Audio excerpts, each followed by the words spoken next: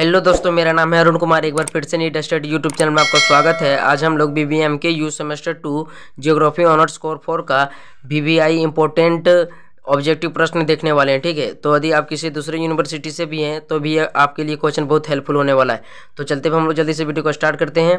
पहला प्रश्न है हमारा वायु दाब को मापा जाता है। तो वायु दाब को किससे मापा जाता है? तो इसका आंसर हो जाएगा बैरोमीटर से, ठीक है? अगला प्रश्न हम लोग देखते हैं। अगला प्रश्न है हमारा, समुद्र की औसत लवणता कितनी है?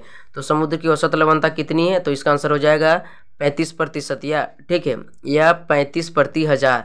तो आप दोनों को याद करके रख लीजिए। अगले प्रश्न की ओर हम लोग चलते हैं। अगला प्रश्न है हमारा, मध्यमंडल की अधिकतम ऊंचाई कितनी है? ठीक है, मध्यमंडल की अधिकतम ऊंचाई कितनी है? तो इसका आंसर हो जाएगा पचास से अस्सी किलोमीटर, ठीक है। तो आप इसे नोट करके रख लीजिए। यह वी क्वेश्चन है। एग्ज़ाम में हर बार आता है, ठीक है। तो अगला क्वेश्चन हम लोग देखते हैं। अगला क्वेश्चन है हमारा, स्पेन व फ्रांस में बहने वाली ठंडी स्थानीय पवन को क्या कहा जाता है? ठीक है। फिर से देखते हैं हम लोग, स्पेन व फ्रांस में बहने वाली ठंडी स्थानीय पवन को क्या कहा जाता है? तो मिस्ट्रल ठीक है। तो आप इसे नोट करके रख लीजिए। अगले प्रश्न की ओर हम लोग चलते हैं। अगला प्रश्न है हमारा, वायु की गति को किससे मापा जाता है?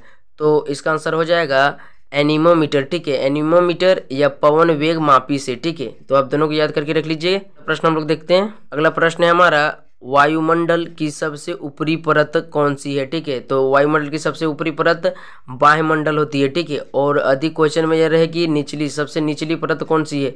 तो क्षोभ मंडल होगा, ठीक है? तो आप दोनों को याद करके रख लीजिए। अगले प्रश्न की ओर चलते हैं हम लोग। अगला प्रश्न है हमारा, वायुमंडल में सबसे अधिक मात्रा में कौन सी गैस पाई जाती है? सबसे अधिक मात्रा में कौन सी गैस पाई जाती है? तो इसका आंसर हो जाएगा नाइट्रोजन अठहत्तर प्रतिशत। ठीक है, नाइट्रोजन अठहत्तर प्रतिशत। चलते अगले प्रश्न की ओर हम लोग। अगला प्रश्न है हमारा, क्षोभ मंडल की औसत ऊंचाई कितनी है? तो तेरह किलोमीटर। ठीक है, जो क्षोभ मंडल की औसत ऊंचाई है, वह है तेरह किलोमीटर। और यह ध्रुवों में जाकर आठ किलोमीटर हो जाती है। ठीक है, क्षोभ मंडल की औसत ऊंचाई ध्रुवों में आठ किलोमीटर हो जाती है।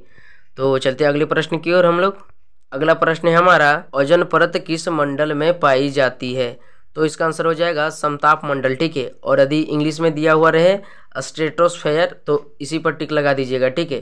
तो दोनों में कोई एक रहे तो उस पर टिक लगा दीजिएगा। अगला प्रश्न हम लोग देखते हैं। अगला प्रश्न हमारा, क्षोभ मंडल में कितने ऊंचाई पर एक डिग्री सेल्सियस तापमान कम हो जाती है?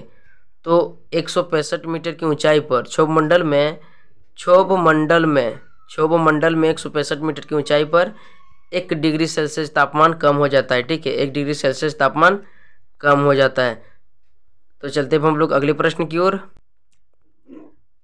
अगला प्रश्न है हमारा नीनो की घटना किस महासागर में घटती है ठीक है? तो इसका आंसर हो जाएगा उष्णकटबंधीय प्रशांत महासागर में ठीक है? एलिनो की घटना किस महासागर में घटती है तो उष्णकटबंधीय प्रशांत महासागर में। अगला प्रश्न हम लोग देखते हैं। अगला प्रश्न है ज्वार भाटा की उत्पत्ति कैसे होती है? तो इसका आंसर हो जाएगा सूर्य तथा चंद्रमा की आकर्षण शक्ति के कारण, ठीक है? ज्वार भाटा की उत्पत्ति, ज्वार भाटा की उत्पत्ति सूर्य तथा चंद्रमा की आकर्षण शक्ति के कारण होता है। तो अब इसे नोट करके रख लीजिए। अगला प्रश्न हम लोग देखते हैं। अगला प्रश्न है हमारा, परवाल क्या है? तो इसका आंसर हो जाएगा एक समुद्री जीव, ठीक है? परवाल क्या है? तो इसका आंसर हो जाएगा एक समुद्री जीव। चलते हैं हम लोग अगले प्रश्न की ओर। अगला प्रश्न है हमारा देखते हैं हम लोग अगला प्रश्न, ठीक है? अगला प्रश्न है, वायुमंडलीय दाब को प्रभावित करता है, ठीक है? तो वायुमंडलीय दाब को कौन प्रभावित करता है? तो पहला है ऊंचाई, ठीक है? पहला हम लोग देखते हैं, पहला ऊंचाई है, दूसरा तापमान, तीसरा पृथ्वी का घूर्णन। तो इसका आंसर हो जाएगा इसमें से सभी, ठीक है? ऑप्शन में दिया हुआ रहेगा तो इसमें आप इसमें सभी टिक लगा दीजिएगा। अगला प्रश्न हम लोग चलते हैं।